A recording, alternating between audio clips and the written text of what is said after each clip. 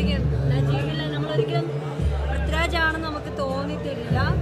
നമ്മൾ സിനിമ കണ്ട് ആ ഫസ്റ്റ് ടൈറ്റിൽ തന്നെ നമ്മൾ നജീബിലേക്ക് തന്നെ പോയത്. എന്താ പറയണ്ടത് അറിയത്തില്ല അത്രയും ഓസ്കാർ നേടിയെടുക്കാനുള്ള എല്ലാ ഇതും സിനിമയ്ക്കുണ്ട്. നമ്മൾ കണ്ടിട്ടുള്ള ആകാശത്തിന്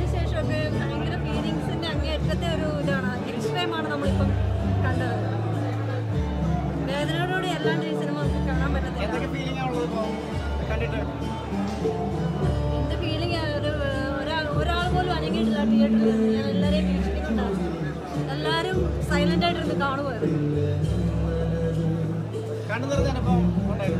കണ്ട ടൈറ്റിൽ തന്നെ ഫസ്റ്റ് ഫസ്റ്റ് ലുക്ക് ഇറങ്ങിയപ്പോൾ തന്നെ മേക്കപ്പ് ഒക്കെ ഒരു രക്ഷയില്ല.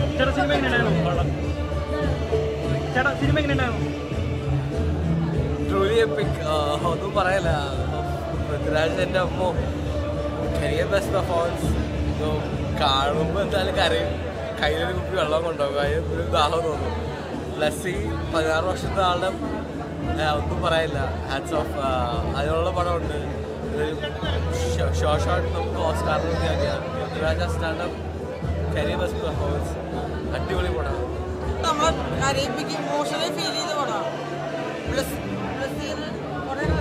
ഫീൽ ഒരു ഗ്രേറ്റ് ഫിലിമാണ്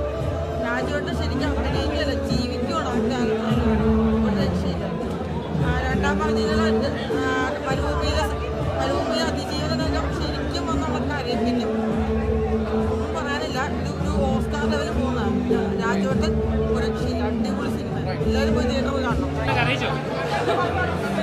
മരവിച്ചു പോകും ചേട്ടാ സിനിമ എങ്ങനെയാണ്?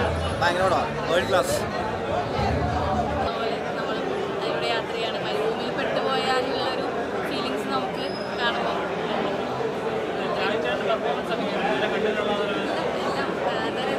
പറയാനുള്ള മാത്രമല്ല ഗംഭീരമായിട്ടുണ്ട് ബസ്സാണ് എത്രയും വർഷത്തെ അത് നമുക്ക് സ്ക്രീനിൽ കാണുന്നുണ്ട്. എല്ലാവർക്കും അത് അനുഭവിക്കാൻ അനുഭവിക്കാൻ തിയേറ്ററിൽ തന്നെ അത് എക്സ്പീരിയൻസ് ചെയ്യാൻ കിട്ടട്ടെ എല്ലാവരും ആഗ്രഹിക്കുന്ന പോലെ അത് കിട്ടട്ടെ എന്ന് തന്നെയാണ് നമ്മൾ ആഗ്രഹിക്കുന്നത്. ഒരു സംഭവിക്കട്ടെ. നമുക്കൊരു അഭിമാനമാണല്ലോ അങ്ങനെ ആവട്ടെ.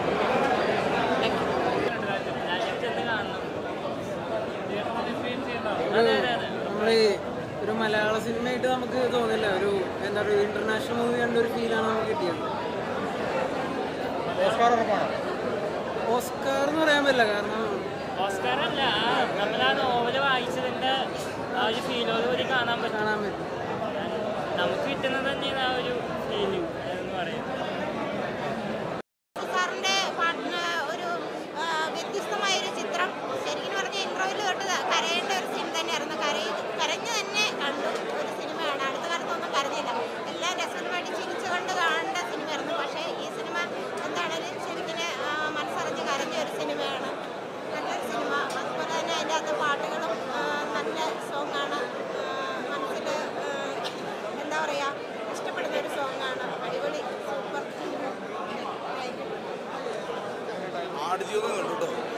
ആടുജീവിതം എന്ന് പറയുന്ന സിനിമ കണ്ട് എന്താ പറയാ നമ്മൾ പ്രതീക്ഷിച്ചതിനേക്കാൾ കൂടുതൽ അവർ തന്നു നമുക്ക് കാരണം ഓരോ നിമിഷവും എന്ന് പറഞ്ഞു കഴിഞ്ഞാൽ നമ്മൾ പ്രതീക്ഷിക്കാത്ത ഇത് സമ്മാനിച്ചു. എന്തായാലും ഈ വർഷത്തെ ഓസ്കാർ എന്തായാലും പൃഥ്വിരാജ് സാർ കൊടുത്തു.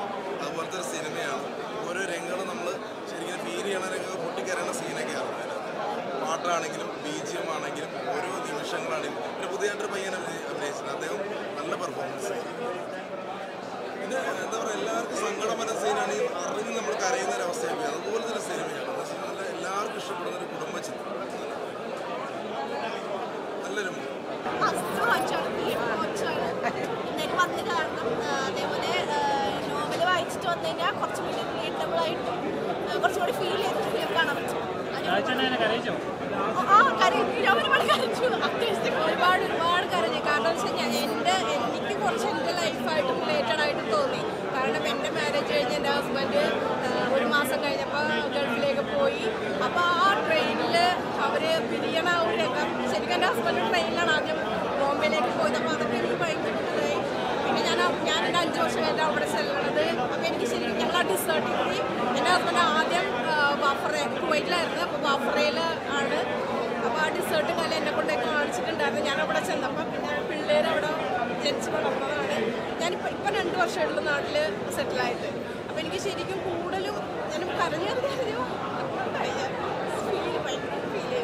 പടം ദൃശ്യവിസ്മയം കേട്ടോ. ഇത് മസ്റ്റായിട്ടും തിയേറ്റർ തന്നെ കാണാം. അറ്റ്മോസിൽ തന്നെ കാണണം. A R Rahman Prithviraj. പൃഥ്വിരാജിന്റെ ഒക്കെ ലെവൽ നമ്മൾ എപ്പോഴും അറിയുന്നത് അത്ര അടിപൊളി.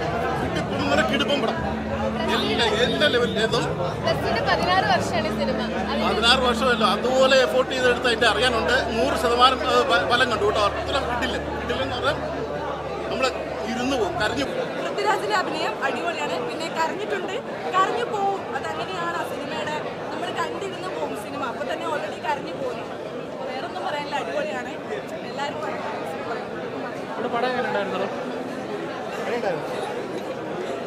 അടിപൊളിയായിരുന്നു. പടം പൃഥ്വിരാജിന്റെ പെർഫോമൻസ് അടിപൊളിയാണ്. ഞാൻ നോവൽ വായിച്ചിട്ടുണ്ട്. അപ്പോൾ നമ്മൾ നമ്മൾ നോവലിലേക്ക് നമ്മൾ പെട്ടെന്ന് കണ്ണോടിച്ചു പോകും. കാരണം അതിലുള്ള കഥാപാത്രങ്ങളൊക്കെ ഏകദേശം സെയിം ആണ്. പൃഥ്വിരാജിന്റെ എന്താ പറയുക പൃഥ്വിരാജിന്റെ അഭിനയം ഒരു രക്ഷയില്ല. പിന്നെ എ ആർ റഹ്മാൻ മ്യൂസിക് ഒന്നും പറയാനില്ല. അടിപൊളിയാണ്. കാരണം എ ആർ റഹ്മാന്റെ വലിയൊരു ഫാനാണ് ഞാൻ അപ്പോൾ അതുകൊണ്ട് തന്നെ എപ്പോഴുള്ള പോലെ തന്നെ നല്ല പാട്ടാണ്. പിന്നെ പൃഥ്വിരാജിന്റെ അഭിനയം സൂപ്പറാണ് പിന്നെ നോവലിലുള്ള ചെറിയ ചെറിയ ഭാഗങ്ങൾ ഒഴിച്ച് ബാക്കിയൊക്കെ അതുപോലെ തന്നെ ചിത്രീകരിച്ചിട്ടുണ്ട്. ഒരു മാറ്റവും. മലയാളത്തിലേക്ക് ഒരു ഓസ്കാർ പ്രതീക്ഷിക്കാവോ ഓസ്കാർ അതെനിക്കറിയില്ല. അതവർ കിട്ടുമായിരിക്കും. നമുക്കെന്നാ ബ്ലസ്സിയുടെ ഒക്കെ പറയാൻ പറ്റത്തില്ല. നമുക്ക് കാണണം അത്. കണ്ട് എക്സ്പീരിയൻസ് ചെയ്യണം. എല്ലാവരും കാണണം. നല്ല പടം കേട്ടോ. സൂപ്പർ. പൃഥ്വിരാജിന്റെ അഭിനയം സൂപ്പർ. എന്തുവാ ഞാൻ പറയണ്ട നമുക്ക് വാക്കൊക്കെ സ്റ്റക്കായി പോവാന്ന് അറിയില്ല ഞാൻ ബുക്ക് വായിച്ചിട്ടില്ല. ഞാൻ വെയിറ്റ് ചെയ്തിട്ട് സിനിമ കാണാമെന്ന് വിചാരിച്ചായിരുന്നു. സിനിമ കണ്ടു.